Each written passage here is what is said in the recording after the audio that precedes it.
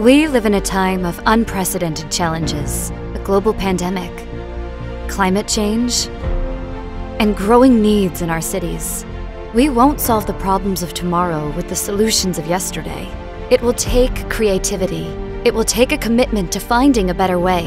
It will take new avenues of collaboration. In a word, it will take innovation. At the Shields Center for Innovation at Boston College High School, we're committed to creating the next generation of innovators. Students who are learning what it takes to create a better future, finding ways to serve those on the margins, and embracing change at every turn. Whether bringing innovators into our classrooms or leaving our campus to see innovation at work, our students are becoming innovators in Boston and beyond.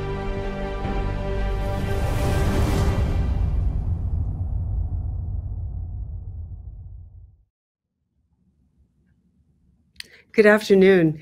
My name is Grace Cotter Regan, and I'm honored to serve as the president of Boston College High School.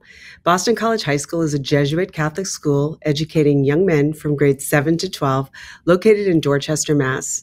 On behalf of the Boston College High School community and the Shields Center for Innovation, welcome to today's event. It's hard to believe it has been 18 months since we hosted our first event for the Shields Center for Innovation. That event, held in March 2021, had a simple title why Innovation Matters.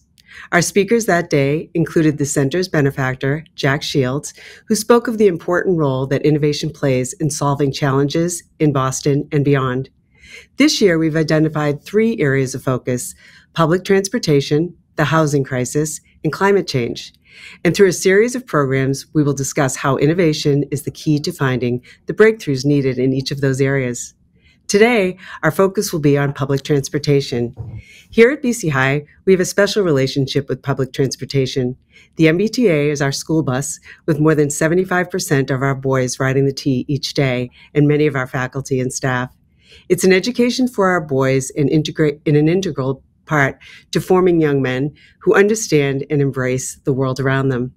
We welcome the seventh grade students from the Arrupe Division at Boston College High School, led by Vice Principal for Arrupe, Bob Hamblett, and the social studies teachers, Ms. Rother, Ms. Hauser, Mr. Hauser, and Ms. Piedad. Today is also the Center for Ignatian Identity and Formation Service Day for the seventh grade, so you'll see many of the boys around the point.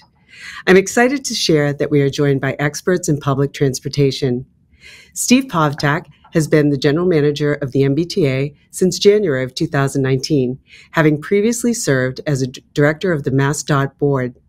His work with the MBTA has required him to constantly balance innovation with the challenges of running an aging system.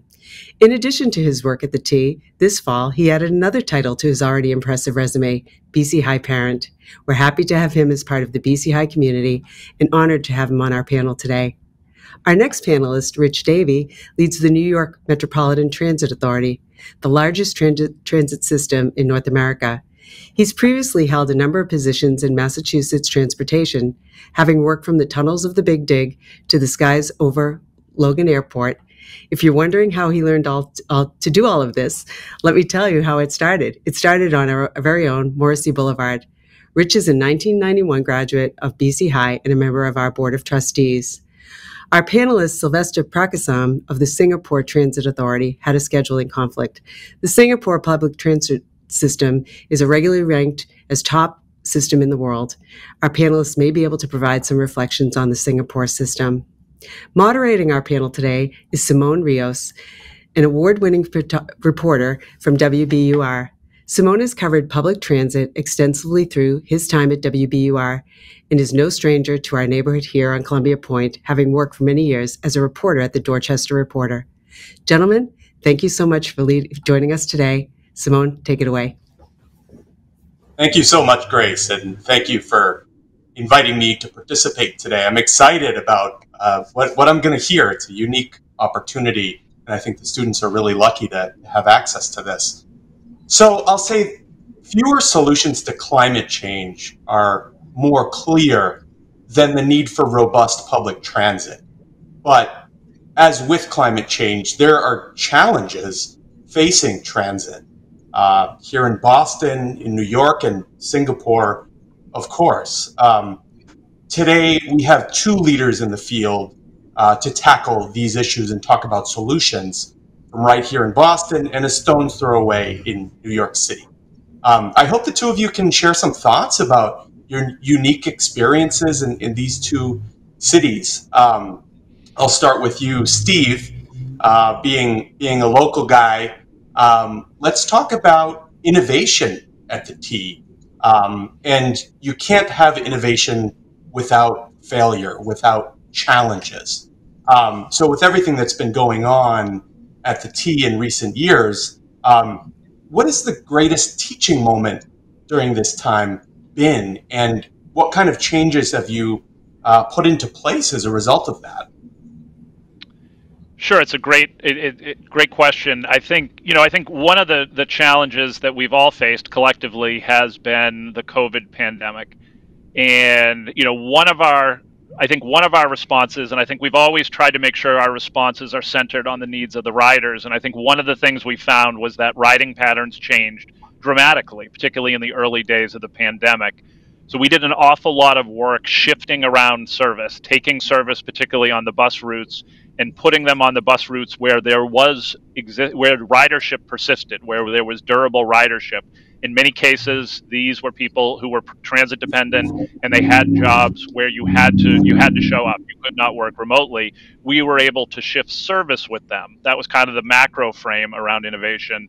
Kind of the micro frame i would put around innovation during this period would be we were able to capture some of the data that we were collecting that was just sort of used for kind of monthly ridership data, our team, our internal technology team, was able to repurpose that data, and then we could push out to people in real time how crowded each bus was. So you could know the bus coming towards you was it crowded, was it empty, and this is you know you think about particularly a moment in time in the mid 20 in mid 2020 and 2021 where people you know really wanted to emphasize social distancing, we were able to provide that information to people. So I'd put that forward. Um, we've certainly faced plenty of challenges, and I could fill the full hour talking about the challenges and our response to them. But I would put that forward as one of the major challenges that we've faced and responded to.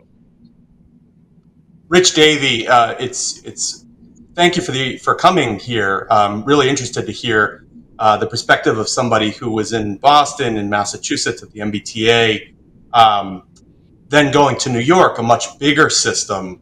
Um, talk about, first of all, talk about the differences. What were the, the biggest differences you saw coming from Massachusetts and going to New York? There are a lot less Red Sox fans in New York. I can tell you that. Um, I can imagine so um, I mean, as you said, the scale is is is is different, right? So um, in New York, um, even you know, we're obviously coming out of the pandemic and have sixty percent, sixty five percent ridership uh, pre COVID. We're still carrying uh, five and a half million people a day. Uh, it's pretty daunting um, to even think that you know ridership before um, COVID was more like eight million folks in New York. Um, and you know, I think as Steve teased, uh, for many of our customers uh, in, in, in in New York City Transit, we are um, a lifeblood for them to get to a job, to school, to you know, healthcare, um, whatever you know folks need to do around the city. Um, and, and, so I think it's both daunting and it's also humbling. I was with a group of employees this morning um, I have breakfast with about a dozen employees uh, once a, a, month, and we talked about the story um, uh, from NASA in the 1960s, where you talk about a mission-driven organization, and someone asked the janitor at NASA, you know, what do you do? What's your job? And he said, to put a man on the moon. And I think here in transit, what we talk about is it's everybody's responsibility, all almost 50,000 of us, to move New York uh, regardless of what we do. So I think for me, it's uh, it, it's you know the scale is larger, but it's still the same humbling experience of you know what we do is so critically important to move, uh, literally move this city. Were there any um, advantages to New York when you went there and you, you, you said to yourself, "Gee, I really uh, think that Boston could could do it this way"? What can Boston learn from your experiences in New York? Um, yeah, I mean, I, have I've again, not to go back to the sports, I've teased folks here to say I had the opportunity to manage a number of championship parades when I was at the T, and I'm looking forward to sports championships here in New York. We can we can leverage that uh, experience. But in seriousness, I think that um, you know there are things that we leverage off one another in the industry in in, in, in the United States. So I know I've been in touch with Steve in the last few months. Uh, I've only been on the job here now five months about some things that he and the team at the T are doing. Um, you know, one thing I'm really excited about, and this might not sound too exciting, but is predictive maintenance and really predicting when something will break down before it does, right? And so we have this new talk about innovation, this new technology we're leveraging. Um, so artificial intelligence on top of our bus uh, telematics, right? Buses are really big computers now as opposed to just engines like they were 30 or 40 years ago. But we have this technology that we can actually predict uh, a bus's failure before it does and then pull it out of service. And then rather than having the check engine light on and needing to diagnose the issue for a few hours, the, the AI is so intelligent, it provides a um, maintenance plan to our uh, maintenance teams. So we're reducing our costs, we're improving our service. Like I think that's the kind of exciting stuff, you know, we're experimenting with. I know Steve and you know our other peers and other agencies across the U.S. We are sharing those best practices because uh, look, we might be the biggest in New York, but we're not the smartest necessarily. We can learn from others. Yeah, and Steve, uh, talking about New York or, or talking about any transit system in the world, um, what are some of the things you see in other places that you think could, could really uh, you know take off in Boston, but may not be as easy as you'd like to implement? I mean, I think the you know the big one for us is we are we are in the middle of upgrading our fare collection technology right now right now the back office essentially the guts of our fare t- collection technology is just not that flexible so there's a lot of interesting policy ideas out in the public domain we just signed a deal with uh, the city of boston google sanofi where they are going to they're going to pick up the travel costs of their employees on the t and after the fact they're going to pay. But we, we're limited in the amount of innovative things we can do. There's lots of ideas out there. Fare capping, you know, you, you pay on a per ride basis until you hit the cost of a monthly pass, and then you're only charged for the pass. We can't do that right now, but the new fare system that we are in the process of installing, and I think New York might be a couple months ahead of us, or maybe more, uh, slightly more than that. I think once we have those technologies in place, we'll be able to do a lot more. We'll have a lot more flexibility on the back end to realize some of what I think are virtuous policy goals that we simply can't do from an infrastructure perspective right now. And Rich, what does it look like in New York? So is it similar to here in Boston, where I go underground and go up to the machine and get my my Charlie card? Have a similar system, or or has it changed since I was last there? So it's changed, Simone. You, you can certainly do that and get a Metro card, uh, but um, increasingly uh, we have an open loop system. So if you have an Apple Wallet on your iPhone or you know a debit or a credit card, you can use contactless payment now and just tap and go. And so about 40% of our subway customers are do, using that uh, form of payment now, and about 20% of our bus customers. So we're rolling that out. We just announced yesterday that if you qualify for a reduced fare card here in New York, either based on disability or age, you can now link your debit, credit card, or again, Apple Wallet, for example, other form of payment to get that reduced uh, card. But I think you know Steve's right. We're we are you know meeting our customers where they are. So for those who are you know have technology savvy, they can use that. But we will still have a system. We're calling it OMNY, uh, one Metro New York, um, to be able to uh, to tap and go as well. We have unbanked customers, right? So folks who, you know, for for usually for poverty reasons don't have bank accounts necessarily or credit, and so we need to make sure that um, while we're making it convenient, you know, for for all of our customers, we're meeting all of our customers where they are, which includes those who may be unbanked. But Simone, next time you're in New York, in New York, I should say, don't get a Metro card, just uh, tap and go. That's great. And real quick, Steve, what's it going to look like? You know, in the near future, will, will we have a similar setup? How will, how will ours be different here? Uh, ours will ours will be quite similar. It's the same it's the same manufacturer, so uh, our, ours will be quite similar. We'll have an open loop system, and it will be essentially bring bring the fare media you want to bring. If it's a if it's a wallet on a phone, if it's a credit card, there, there's still there will still be a Charlie card. Uh, I know I'm speaking to an audience of M7 pass holders, so there will certainly be uh, there will certainly be passes uh, as well.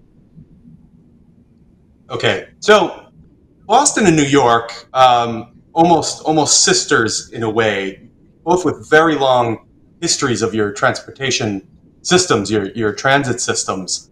Um, talk about moving forward, what what are the, the, the leaps that we're going to see in the years ahead, in the decades ahead?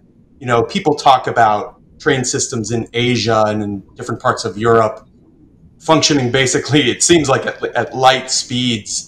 Um, will we see these kind of changes? Will we see ourselves going more to a, a Singapore uh, or, or you know the types of uh, systems you see in Japan or in different parts of Europe? How long is that going to take? Is it going to happen? Uh, Rich. Yeah, I mean, so I, I think it's it's a few places where you know collectively we need to focus to make that a reality. So in New York, we're still, for example, using signal technology from the 1930s and 40s, and I'm not exaggerating, right? So um, we have we are and it's hard to be you know installing new signal systems on track that you're still trying to run right so we just can't close um, you know lines for for years to to it's so it's called communication based um, train um, signaling if you will and that's what we're very much focused on in New York and so what does that mean it means that trains can you know ride more closely together, but in a safe manner, if you will, as opposed to being spread out, having longer headways, and then having you know fewer trains, if you will. But that's sort of the math problem uh, that we're dealing with with an old signal system. And then to your point, it's you know finding you know better improvements. So you know our systems both in Boston and New York were built well before the Americans with Disabilities Act, right, was passed in 1990. And our systems, and Boston's done a much better job but our systems still suffer from not being welcoming for all of our customers, right? And so um, we're very cognizant of that in New York, and it's incredibly hard to build in a built environment already, you know, escalators and elevators, and so that takes time. But that's, you know, I think some of the innovations and and your point, like, you know, where we can where we can be competing, if you will, with some of the other best systems around the world, um, are those signal technologies, but then also making sure that our system you know, is welcoming to all of our customers. And right now, it's not. It almost seems like the more recent transit systems had have a real leg up, being able to start from scratch using the most, you know, the, the state of the art technology of the day. Whereas in Boston and in New York, you're dealing with infrastructure that can be 100 years old or more. Um, Steve, same question to you. Uh, what kind of leaps of technology will we see? We've talked about some of them uh, but uh, bring us forward 10, 20 years, what's going to be different about the? I mean, I think you're going to see, you know, where you're beginning to see newer vehicles, right? We've uh, since the Orange Line surge, we've only run new vehicles on the Orange Line, and you know, Rich touched on just how powerful that technology is. Um, you know, we're essentially leaping. If you think about vehicles, right, we're essentially leaping forward 30 to 40 years in terms of the technology in, available in the vehicles and we, we actually have been using the, the newer vehicles as diagnostic tools. If we have a problem in a power section, we'll run one of the new trains back and forth over it. It will give us information about voltage, amps, the whole, you know, the, a whole slew of data that we never had available to us. And what you're going to see over time is um, all the vehicles replaced on the red and orange line, and then the underlying signal systems replaced as well. And those two things have a will have a, a complementary effect. It's going to allow us to run more service. I think the challenge, which Rich I think adroitly pointed out, is how do you get it installed and continue to run the system? And I think we we sort of called the question somewhat on the orange line with the month long closure, which did allow us to do two stations worth of digital uh, digital signals. But there, as, as the, the more we can get these things in place, you're going to see much better, much more consistent service. The new vehicles have been performing just outstanding on the orange line. The mean miles between failure last month were 250,000 miles, which is one of our metrics for uh, service reliability, and that is that is off the charts relative to anything else in the MBTA system. So, it, would it be safe to say then that the focus going forward is really about improving what we have as opposed to going to you know maglev some you know some completely some radically different system? That the idea is is to to improve on what we have make it faster uh, and and more reliable. Look, Simone, I think so. We also, and I know Steve does too, in, in New York, we instituted when I started a monthly customer survey, right? So, what are our customers saying? What do they want? And um, in New York, they're saying faster, cleaner, safer. Um, and sneak preview, we're announcing our strategic operating plan tomorrow in transit publicly, and it will be called that faster, cleaner, safer, because that's what folks are asking for. And so, while maglev is an interesting technology, I had a chance to ride a maglev train when I was in Japan a few years ago. Um, you know, but that's really inner city passenger rail, right? That's Boston, Washington, or, or to Chicago, if you will. Um, I think if you did a maglev train between Boston and Springfield, it would take you like 18 minutes to get you know between the two cities. Um, maybe that works, maybe it doesn't, but uh, but I think for our systems, it's it's you know I mean Steve's running a system that opened in 1897. Uh, New York was a couple years behind in 1904, um, and um, you know recognizing that reality that there are so many sort of improvements to be made around a system that are, you know systems that are 100 plus years old uh, is critical. I think some of the Asian cities you mentioned in particular have the you know have had the ability to build out you know new systems today with today's technology. Frankly, in some instances, in environments where the governments, uh, let's just say, don't appreciate maybe environmental impacts as much as we're required to here in the United States, or you know the kind of labor laws we have, right? So um, you know so, so, there is definitely there are definitely some systems where there are I think relevant learnings, but given uh, legislative and regulatory requirements, uh, not always relevant for what we're trying to do in the United States. Steve, you brought up the Orange Line shutdown. Um, uh, this took a lot of us by surprise. Uh, I think we learned two two or three weeks before it was going to happen that the Orange Line the entire line would be shut down for a whole month. That's an unprecedented step. I don't think it had ever happened. And you made the claim that uh, you were able to do five years of, of work that would have otherwise happened on nights and, and weekends in, in one month. Um, how did that go? Um, we're talking just just us here, so I'd love to hear you know yeah the thoughts that you the 400 people listening to this, right? Exactly. so, you know, I think first, you know, first to just a little bit of explanation of kind of why it came upon us all so fast. Um, you know, we we knew we had a lot of work we wanted to do. Uh, the FTA had directed us to give uh, our our track maintenance crews more access, and we felt like there was a body of work that needed to be done, and there was some of that work that you simply you, you can't do it on nights and weekends in any form of efficient. You know, as, as you noted, some of the stuff would have taken five years. We wanted to get it done a lot faster, and we felt that was the right thing to do. Also, it's very difficult to rent ADA uh, compliant uh, third party buses to actually run the bus shuttles. And there was the window that the surge was in was the one window where we could get 200 buses. We had every available ADA compliant bus east of the Mississippi. So you know, I know I know I rode shuttles from Florida and New Orleans, and uh, so there was really a limited window of time, and that's why it came upon us so quickly. Um, I would say, in terms of the execution, uh, the alternative transportation worked very well. Um, it was slow, but it was comfortable. I would say in in the buses. Also, lots of people diverted to the commuter rail, uh, and also the city of Boston did a nice job uh, diverting people. About 2,000 riders a day were on blue bikes uh, as well. So, uh, nice job with the alternative transportation. We had teams across the entire line doing work. Uh, which required a real choreography. There's only actually about five places that you can get onto the orange line with construction equipment and materials. So when you've got 13 priority projects and about 30 opportunity projects. You have to very carefully choreograph who's going where so that you can actually get stuff in. We got uh, we got a ton of work done. I think uh, I rode the Orange Line in this morning, and I must say I, I showed up uh, 10 minutes early to the event I was planning to hit because I got in a lot faster than I expected. I'm coming from the south side. I know we still have some slow zones uh, that we're looking to remove uh, over the next month and two two months uh, on the north side, but we were able to get an awful lot done. Uh, we've also, as I noted before, we've also been running the new vehicles, uh, solely the new, new vehicles, since the surge started. And I think that's a nice change for our customers uh, having those new vehicles. They're more reliable, they're cleaner, they're, they're much nicer. They're very nice. They're, they're very quiet too. So much, much appreciated there. Rich, um, when you saw this announcement coming out of Boston that, that they were going to be shutting down the Orange Line, what was your reaction to that? Did, did it strike you as, as the right move? And um, do you ever have to do that kind of thing in New York?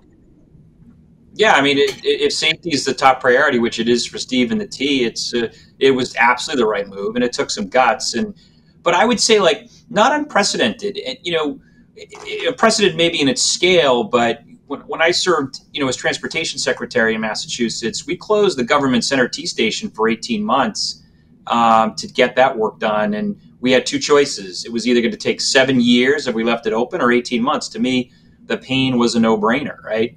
Uh, the second is we closed the Callahan Tunnel for 60 days and to repave it and improve it. And, you know, same, we got a lot of concern uh, a lot of guff from folks, uh, but it would have taken two years to do with one lane. The traffic would have been. I'm definitely a rip the band aid off kind of a person um, for sure. So I think it was the right call and took a lot of guts. Now in New York, uh, we have a bit of even a bigger challenge, which is we are a 24 7 operation. You know, the MBTA does shut down between 1 a.m. and 5 a.m.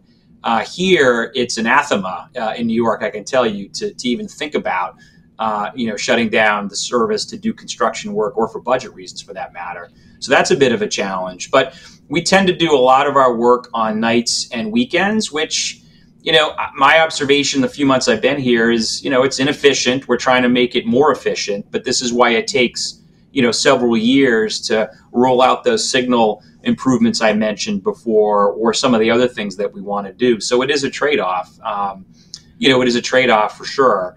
Um, you know, we do have the fortunate, uh, we are fortunate in New York in that we have, you know, multiple lines that intersect. We have express and local track, which the T really doesn't have anywhere. And so we can be more creative in how we shift service around. Um, but, um, but you know, it, it's to me, we're looking for other opportunities to accelerate uh, work, as as Steve mentioned. Some of the challenges here are, are, are different, though. Yeah, I remember Steve talking to me about the the staging that goes into doing some of these projects. That you know, you get in, it takes several hours to set up, and then you get like two hours of work done. then you have to break everything down and you know get the train going again in, in an hour. Uh, it seems it seems crazy. Um, do you ever wish you had more flexibility in terms of shutting uh, either stations or or areas down? Would that allow you to get stuff done more effectively? Absolutely, absolutely. Our wrench time is another way to describe what you just mentioned. is is pretty pretty poor, right? I mean, usually an eight-hour shift for some of these jobs, uh, it might be four hours or less wrench time. So, you know, to your point, you have to set up your flagging so your safety because you might still be working around active track if not on it, right? The third rail, um, obviously, don't touch it. Uh, you know, you will be killed, right? Instantly uh, it is the environment in which the employees and contractors work under is very dangerous. And so, safety for them first. And then, to your point, bringing in equipment onto the tracks and then having to remove it to make sure that folks can get around safely. Um, you know, the whole environment. Now, that said, um, I have challenged my team to when the construction team is doing large construction projects and taking over, uh, you know, maybe several uh, stations or territory to do track work, what can we do from a maintenance perspective that these stations are now closed? And so we, we actually just announced a program called Mop My Stop, um, which is more than just mopping stations. It's a big station refresh. So when we have the ability, because stations are closed for track work happening outside of the stations, you know, can we power wash? Can we paint? Can we, you know, do small track work in the facility, et cetera? And so, um, we are uh, that's been a very successful program. We've been doing that on on weekends now um, as well. But to your point, Simone, it's like you know pushing, making sure safety first, absolutely for our customers, our employees, and our contractors, and then seeing okay, can we improve the wrench time uh, and be more efficient? But it is in an environment where you have so many dangers, it is it, it, it is not easy. Yeah. And Steve, circling back one more time to you on that question, in hindsight, are you satisfied that, that the Orange Line shutdown was the right move? And if so, should it will it happen again on other lines or something something of a similar scale? Absolutely satisfied that it was the right move. Um, you know, I think we would have managed maybe the closeout a little differently and would have, you know, I think we could have been more effective in communicating that some of the slow zones were going to persist. But absolutely think it was the right move. Uh, that was reinforced for me this morning. My ride was much faster from uh, from from Forest Hills to State Street, so I'm I'm, I'm pleased with that. I think uh, I think while we are we are going to use these types of shutdowns in in the future they're going to be much uh, they will be more limited in nature. Uh, for instance we've been shutting down both the Ash- ashmont branch and the braintree branch periodically to get work done. One of the practical one of the practical gating functions here is just how many buses are available. It's it's well nigh impossible to shut down the entire red line and to bus it just because of the geography of where you're busing and the availability of buses. Uh, you would probably need you would probably need 350 to 400 buses, and I would you know I'd venture to guess that it would be extraordinarily slow uh, in doing it. It just it's just not practical. But we will be doing more limited diversions, and I think part of part of where we're evolving to is a strategy where these long, more prolonged long shutdowns allow us to be more efficient, allow us to get more work done. So we will be doing uh, we will be doing more of that in the future. Yeah. So changing gears a little bit, I'll, I'll say that the two of you, Steve Poftak, Rich Davey, you have the weight of the world on your shoulders. Particularly you, Steve, uh, as as I've seen over the last few months, you, you've undercome a lot of a lot of fire from uh, a lot of different angles, and um, I don't envy um, that that responsibility. So um, I want to ask, uh, sort of uh, shifting to the question of climate change. Uh, when I say you have the weight of the world on your shoulders, that's that's what I was referring to, in large part, because everybody talks about public transit as as one of the top ways we can address climate change. Um, but somewhat ironically, public transit is probably one of the biggest emitters of greenhouse gases. Hopefully that's changing. Um, but Rich, if you could talk about the, the environment in, in New York City, how much weight is being put on your agency to help with greenhouse gas emissions, and, and what are you doing to address that? Yeah, I mean, Simone, it's it's an excellent question, particularly for the the boys listening to this. I mean, I I think the the issue of our time is climate change, right? It is. Um, it affects everyone on this earth. Um, we're seeing it play out in numerous and negative ways, and it seems like it's only going to get worse. Depending on where you live in the United States, transportation as an industry is one it is the top or second largest contributor to your point to greenhouse gas emissions, right? On the flip side, however, public transportation can be, um, you know, the tip of the spear, if you will, to reduce that. And so, uh, you know, in Boston, I, I, think the T continues to be the largest consumer of electricity of anybody in the state. I'm quite sure we in New York are, are, are the same.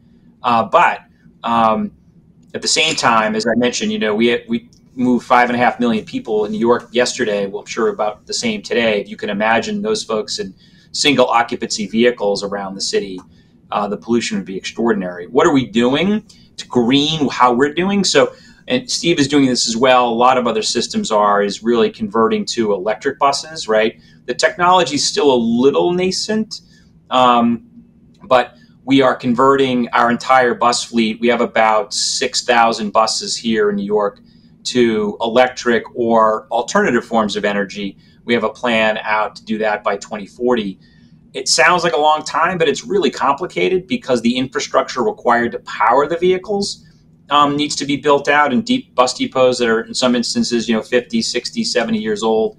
Um, there's also technology on hydrogen, uh, which is something we're watching closely. Again, it's still fairly nascent. Um, but, you know, I think, you know, New Yorkers do believe, you know, public transit, among other modes, walking, bicycling, you know, other um, forms of transportation uh, is the anecdote to um, you know the antidote to, to, to to climate change. And New Yorkers certainly, I think, embrace it. Uh, you know, Superstorm Sandy hit here 10 years ago and dramatically impacted public transportation uh, in the city.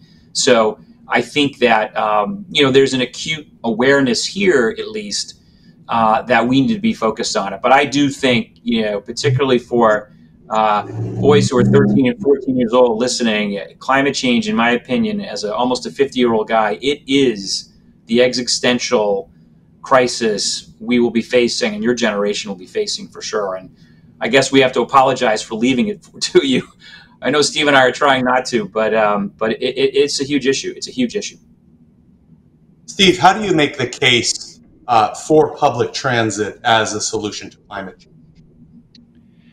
You know, I, th- I think we're a solution on multiple levels. One, to the extent that we can remove single occupancy vehicles and be an alternative, I think that's you know I think I, I think that's apparent um, as I as I hear tales of congestion and longer and longer commutes, I'm hopeful that people, you know, the, to the extent that we're able to provision reliable service for people, that they will see the T as as an alternative. Um, and then I think, you know, I'll, I'll pick up on some of the themes that Rich already hit. Um, you know, we are transferring over over time uh, to, for instance, electrified buses. Right now, we have a handful. We still have a handful of diesel buses most of the buses we have are diesel electric hybrids. Uh, we will be transitioning to all battery electric buses over the next 15, approximately 15 years. The secret there, I would say, is electric buses is relatively easy. Facilities that can accommodate these buses and building them while we're keeping the current bus system running is extraordinarily difficult. That's at least a four and a half billion dollar expenditure over time for the T the other point, uh, the other point I'd, I'd, I'd note, Rich correctly said, we are the largest consumer of electricity in the state of Massachusetts, and our consumption is entirely renewable. We we purchase from renewable sources, so um, that is that is not not well known, but that is a commitment that we have made and honored uh, for approximately two years. And then I think the third leg of the stool for us then is uh, is what do we do with the commuter rail? Uh, commuter rail currently runs on diesel locomotives. Uh, we are mm-hmm. examining uh, a bunch of alternatives uh, that are electric. I think there, again, the, the, the, vehicles might be the easiest part. The toughest part is the infrastructure to serve them. We would, there's either going to have to be an evolution in technology that's going to allow us to run partially on battery power, partially on live electric power. But if you're only running on live electric power, you've got to run overhead catenary wire uh, across approximately 400 miles of, uh, of system, which is which is a, just a, a, monumental investment in infrastructure. Yeah, Aiden and Riley, two of the students I have here, asked why all trains aren't electric yet. If electric is is the future, and what happens if and when they are electric? Perhaps Rich, you could you could address that one. Yeah, I mean, I think Steve said it. I mean, fundamentally, it's it's a cost question, right? So to build out the catenary infrastructure uh, in, in, Boston would, depending on who you believe, you know, a couple billion to maybe you know ten billion. It's probably somewhere uh, on the higher side. So it's an extraordinary investment. Um, you know, again, nascent technology, but I believe um, at Deutsche Bahn in Germany, they're testing hydrogen fuel as a as a renewable fuel for uh, for trains. You know, again, very at its early stages, but that might be interesting and might avoid the kind of um, infrastructure build out that Steve mentioned. You know, here in in New York. Um, you know, our commuter rail system uh, is is electrified. Uh, that was built out um, as the system was built out over time. So, uh, you know, we don't have the kind of diesel trains that up to the T and others do in the United States. Um, so we're, we're, we're, fortunate in that regard. But I think that next um, code to crack is is uh, you know our buses, and uh, in particular, you know if you actually looked at where some of our bus facilities are located, I know in Boston was the same. You know these are in environmental justice communities, typically communities of color, lower income communities that have been you know uh, negatively impacted and disproportionately impacted based on transportation decisions in the past. And that's something else we're grappling with, I think, as an industry, um, to say truthfully, you know, this has been, um, you know, this has been an industry that has uh, had negative impacts on on, on communities, and, and we need to do our best to address that. Electrification, of course, is one of the ways to do that. Great. Um, well, thank you so much for for that. I want to ask you about your own career paths. Rich, you're a BC High guy. Steve, you're a BC High dad. Um, we'll switch to you, Steve. Uh, did you always envision a, a future in, in transit? How did you get to this point where you're running the MBTA? I uh, no, this I, I, wish I could tell you this is the product of a careful, meticulously planned uh, career trajectory. I, you know, I ended up working. Uh, I ended up working in the state house in the executive office of administration and finance uh, with oversight of the capital budget. Huge part of the capital budget is transportation. Really, re- I loved that work. It became a passion of mine. Uh, I ended up kind of out in the think tank research institute community for a number of years, had the opportunity to serve on both the MassDOT board and the MBTA fiscal and management control board for a while. Um, just the opportunity to be interim general manager came along in 2017. I, I highly recommend it before you take the job full time. If you can, if you can work 10 weeks as the interim general manager, at least prepare, prepares you somewhat for it and then I was sort of in the right place at the right time at the end of 2018, where the T was going through another transition, and and ended up here. So um, I think you know part of it was just following something that I was passionate about and engaging in the work, uh, as opposed to, you know, I think it's it's easy sometimes to sit and opine behind a keyboard or on social media. Actually engaging in the work joining boards, joining av- advocacy groups, uh, becoming becoming engaged, I think is important. And you know, in some cases, uh, the opportunities will present themselves. So that's my uh, that that's my my story. Somewhat haphazard in how I got here, but obviously, uh, it's an honor and a privilege to have a position like this. Yeah, and and Rich, um, you came from from Boston to to New York talk about your path from BC High, uh, which might inspire some of the some of the students on, and why did you leave Boston? Yeah, so I grew up in Randolph. Uh, you know, took uh, the red line to the 240 bus uh, on most days and walked down, you know, my street. Um, my parents still live in the house I grew up in in Randolph. Um, went to Holy Cross and then went to Gonzaga. I did Jesuit Volunteer Corps for a year and went to Gonzaga for law school. So you can hear that the Jesuits have played a an important part of my development uh, as now a man. And, um, you know, Man for Others uh, certainly continues to resonate uh, with me. So I graduated from law school and I worked here in New York for three years doing some stuff in a private firm. And I was here during 9 11 and, and kind of had a 9 11 moment and said, you know, the private firm I was working at, it's not what I wanted to do with my life. And so I quit, moved back to Massachusetts in 2002 and uh, ended up getting into transportation uh, through law.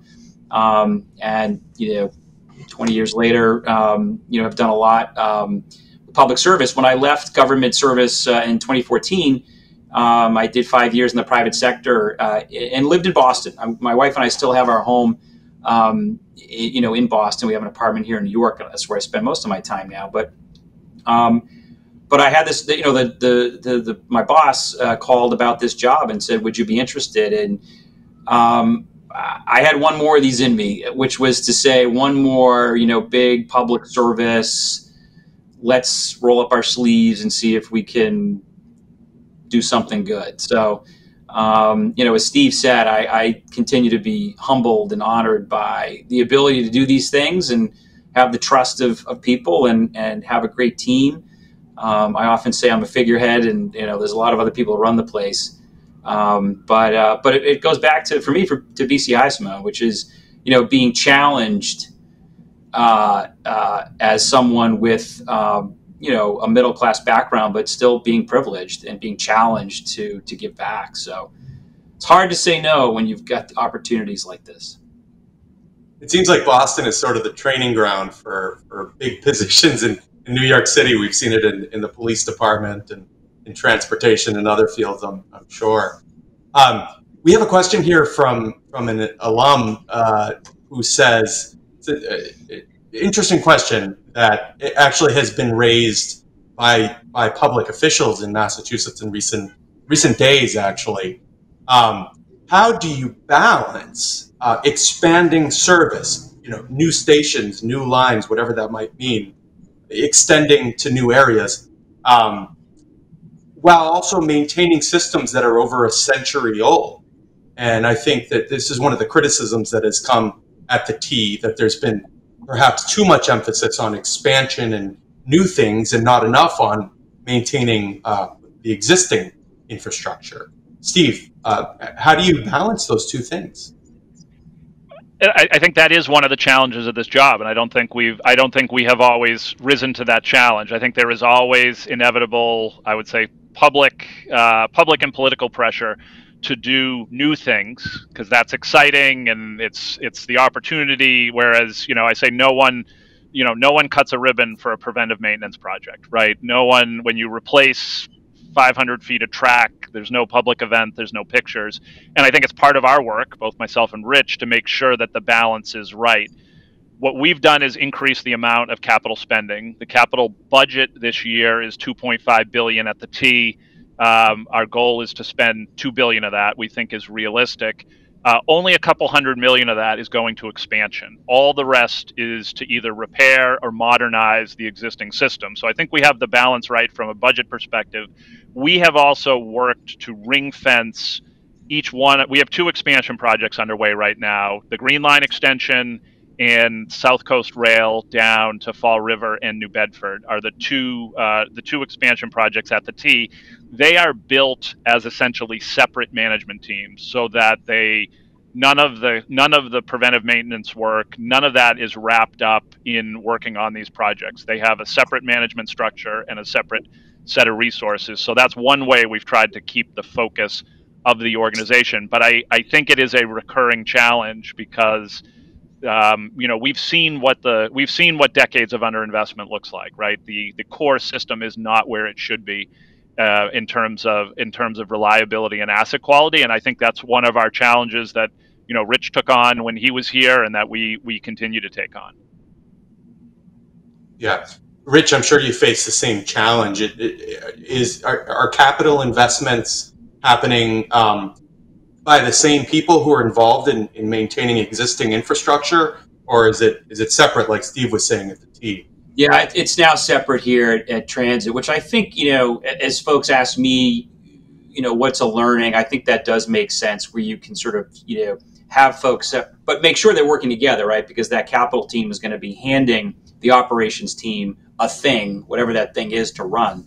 So sometimes it that can get lost. But making sure that that um, coordination's there, I, I, think carving the two out are important. But I, I look, I'll say it even pl- more plainly than Steve because he's still in office in Massachusetts. I am no longer. I would often have folks when I was secretary say to me, "Well, you know, Mr. Secretary, we've been waiting for this project in you know X city in Massachusetts for the last 20 years. It's our turn." And I would say, "Well, is it relevant today?" Well, that's irrelevant. Like it's our turn. We, we you know we deserve this thing, this project, and hmm. I, like I think it's hard for elected officials and others to hear the words no, or you know maybe there's a better way to do what you're trying to get to. Maybe a bike lane is better than a bus lane, or better than a new light rail service. And and, and I think there's a reluctance in some instances to hear that uh, that that question. Um, you know, there are still, as you know, Steve is working on some very large projects, the Green Line extension and South Coast Rail. But I can I know there are, you know, ten other large projects uh, that people are probably knocking at his door to build, and you know, asking whether those are relevant today can be uh, can be hard. Um, and as he also said, I think this is endemic across this industry is it's uh, you know it doesn't get um, the kind of notoriety when you build a new substation or build a new track, but expansion is something that uh, politicians like. There's also a funding question, I think, at the federal level too, where although that's been changing, but I think there's been a bias toward funding new things um, from the federal government, which funds a lot of what we all do in transit, as opposed to maintenance. And again, that's changing a bit, but I think again uh, politics, uh, you know, would push people toward the new shiny objects, a new station, a new car, a new line. Again, some of which is necessary, but sometimes to the detriment of the work that needs to go on, which is, you know, up improving the signal systems that are from the 1930s or 40s. Yeah, well, I can see why those two things are, are fundamentally important. I lived in New Bedford before I came to BUR seven years ago, and everything was South Coast Rail, South Coast Rail. So it's good to see that there's been real progress. That's decades in the making, uh, and they they need it down there in, in terms of economic development.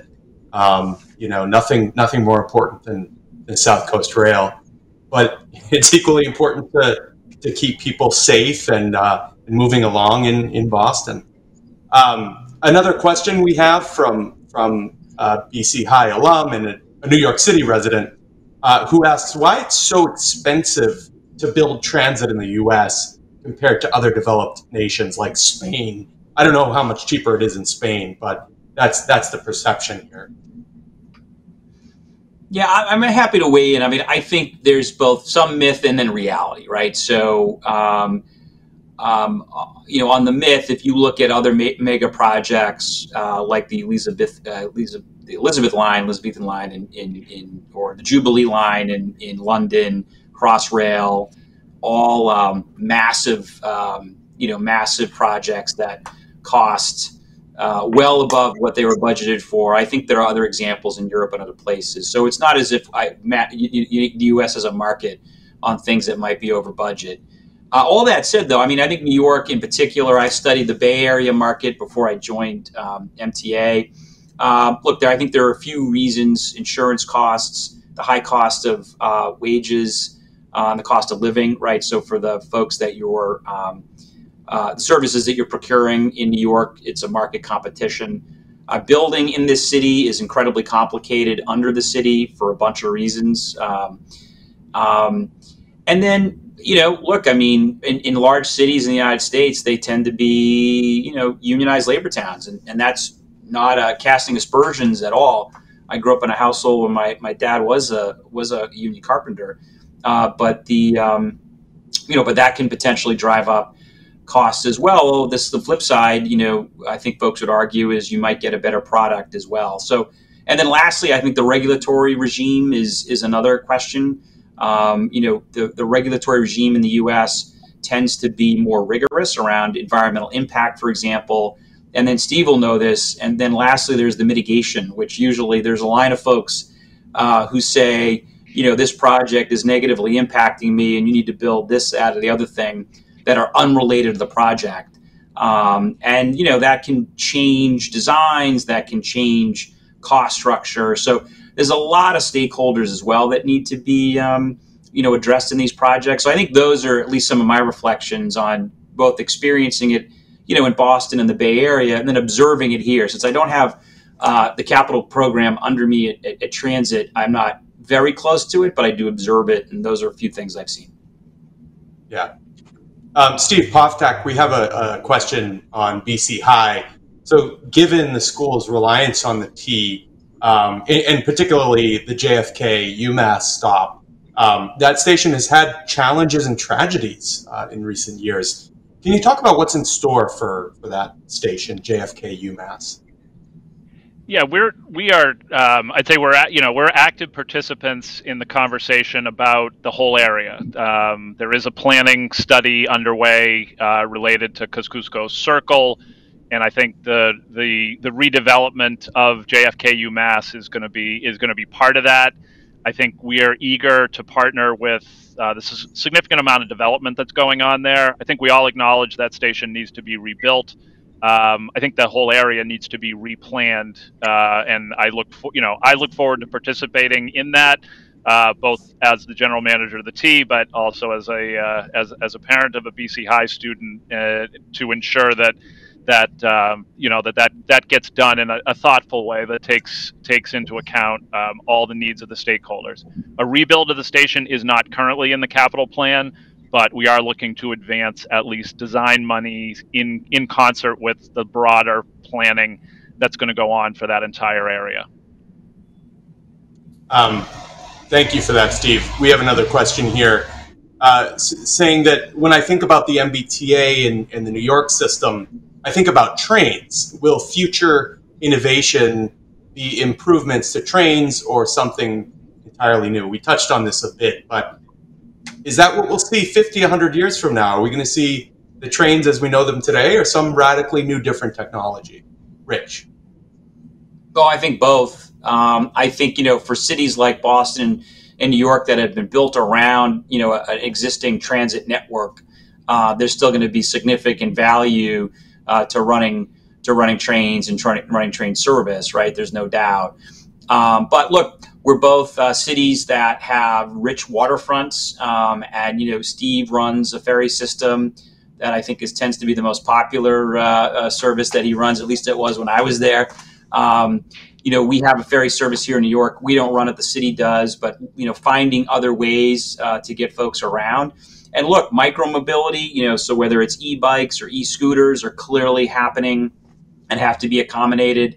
You know, you could have a whole other innovation session on um, advanced air mobility, you know, drone technology, and whether that's you know commercial delivery of packages or actually moving people around a city. You know, I do worry a little bit that uh, it becomes Jetsons like, meaning you know those who are uh, of means are flying around, those of us who, who you know who are not, and like a, a, some kind of a multi-class society around transportation. I do worry a little bit about that, but you got to get the technology first. But I assume it's it, you know, Simone, it's going to be all of the above. The built system and trains are going to continue to be a very efficient way to move people around cities like Boston and New York, uh, but then continue to leverage um, new technologies, but also old. I, I, think you know ferry service, for example, in both cities is probably you know a hidden gem that could be expanded in a meaningful way.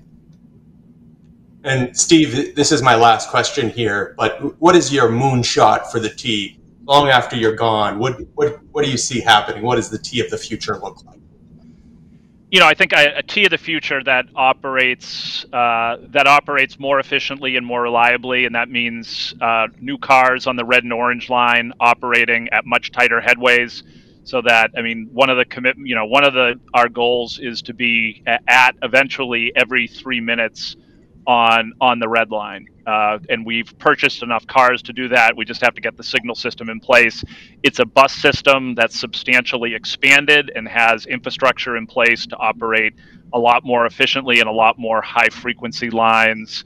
And I think you know there's still a lot to be written on both commuter rail and ferry as well. So uh, some level of innovation, but also more service, more reliable service. Thank you so much um, to all the students for for paying close attention here, uh, and, and to Rich Davey and Steve Poftak from uh, New York City and Boston. It's been really interesting having you here today. Um, I want to go back to Grace Cotter Regan, uh, the president of BC High. Thank you so much, Simone, and thank you to our panelists, Rich and Steve and Simone, for making the time for the Shields Innovation Series here at BC High. I know I learned so much. I'm sure the boys have learned even more. Uh, thank you, gentlemen, for providing an incredible dialogue on the challenges we face locally, nationally, and globally around transportation capital planning, safety, access, and infrastructure. We're grateful for your leadership in public service. And I'm certain our seventh grade students and the high school students involved with the Shield Center on the Zoom call will make this a priority to continue the conversation in their classes as leaders of the future. I was really struck by Rich's comment on AI and the bus telematics tracking locations on buses, and probably a new field for our boys to consider. BC High looks forward to being a part of the planning, Steve, on Columbia Point with our group Point Partners, which encompasses all of the leaders on the point. So we'll be right there with you in the planning. And I also want to thank Jack Shields for his vision, generosity, and commitment to our students at BC High. We thank the Innovation Council, chaired by Peter Dolan, our friends at Virtual for always making this such a flawless event, and our BC High team, Director of the Shield Center, Joe McNamara, Principal Lewis, and our leaders who work to support the Shield Center programming, Kelly DeGregorio, Colleen Carter, and Ashley Gonzalez. We hope that you will join us for our next Shield Center event on February 16th to discuss the important challenges with homelessness and homeless crisis here in Boston and beyond. So, on behalf of the Shield Center, thank you to everyone on the call. Thank you, boys and teachers and staff, for participating. And we hope you have a great day, BC High.